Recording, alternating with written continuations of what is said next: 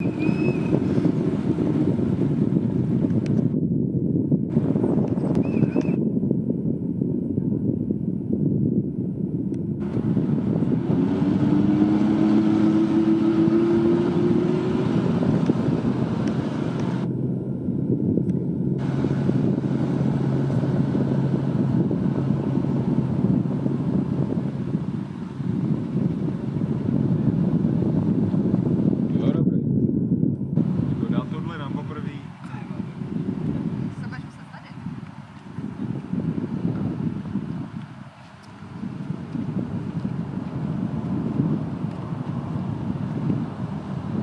zase bude mít perfektní video.